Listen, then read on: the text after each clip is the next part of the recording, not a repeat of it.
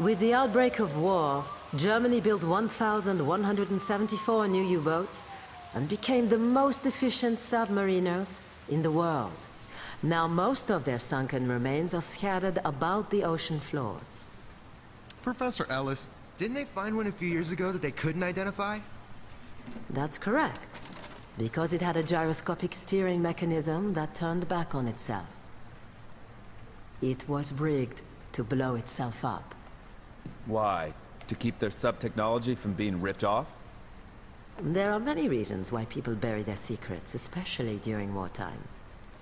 Maybe they were hiding more than spy techniques. I saw a thing on Discovery Channel about Hitler fleeing to Argentina in a U-boat. He'd be well over a hundred years old now, so I don't think there's any concern about the Fuhrer pledging your fraternity next semester.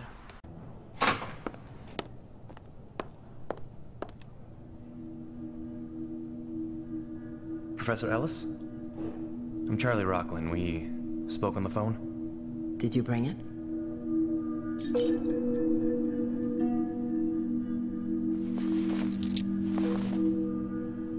Well, what do you think? I think you found an escape sub. An escape sub? A U-boat designed to flee Germany at the end of the war. Well, the odd thing is, the sub had anti-aircraft guns pointing up from the deck. The propeller guards were intact, which was quintessential American. But all German on the inside, right?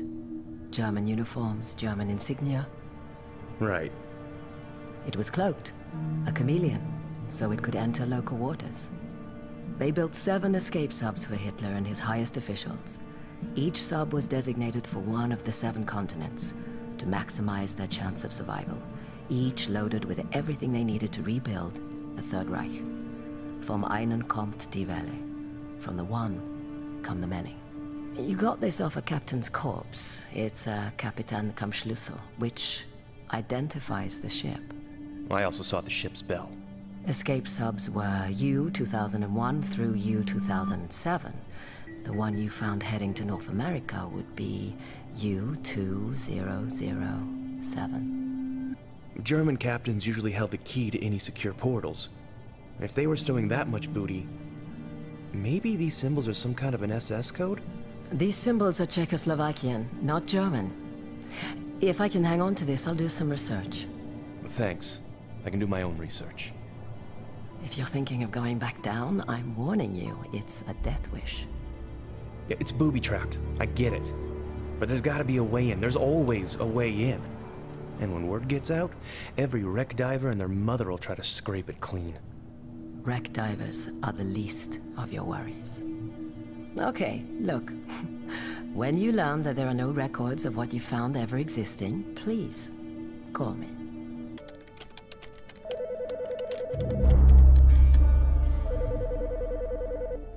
Well? Germany didn't produce any 2000 series U-boats. And yet you saw it with your own eyes. A German U-boat, with no record of activity, no record of even being manufactured, somehow got this close to American shores. What do you make of that? All World War II military information is public domain. Unless it's covert, highest priority compartmented and sensitive, like an escape sub, then it doesn't get published. If that's true, then I'm wondering how a professor would have access. And I'm wondering if you're planning another dive. It would be suicide. You mentioned that. You also told me the symbols on the crest were Czech, not German? I can explain, but only if we do this together. Do what together? Let's discuss it over lunch. Uh, I'm in Jersey. Love Jersey. I can be there by noon. There's no time. Get in. There are two more. I think they went down there. They took the nautical GPS. They can find the site. Doesn't mean they can get inside. Do you still have the Kapitan kam Schlüssel? The crest, the captain's crest. Yeah, watch out! I think you lost him.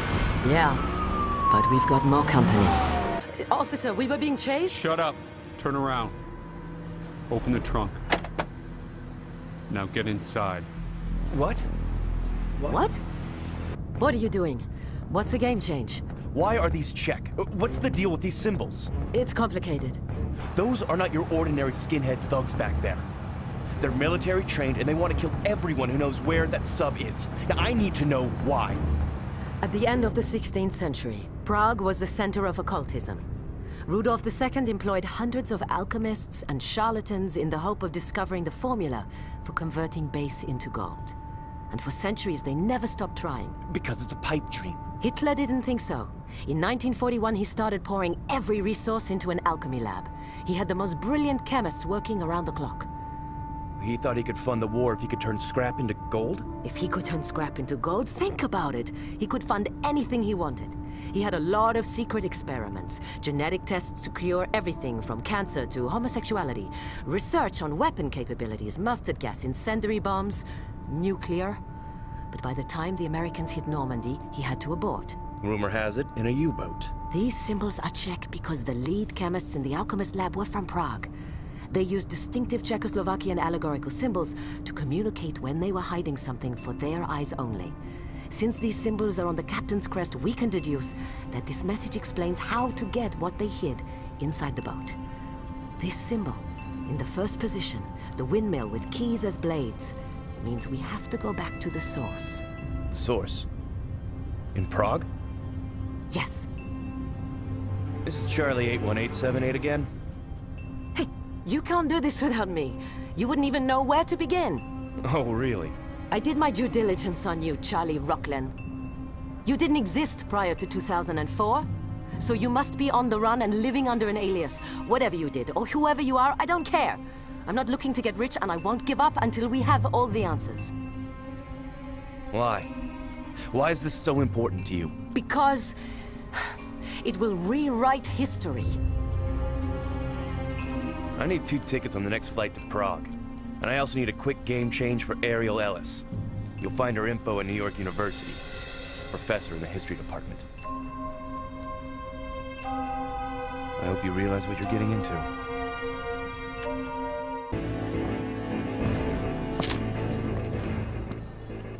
How did you do this? Friends in high places. Next. Prague's houses weren't given identifying numbers until 1770. Before that, homes were known by allegorical symbols. The two suns was the writer's and artist's symbol. The white swan and the red lamb signified sorcerers. And this symbol, Alchemists? alchemists.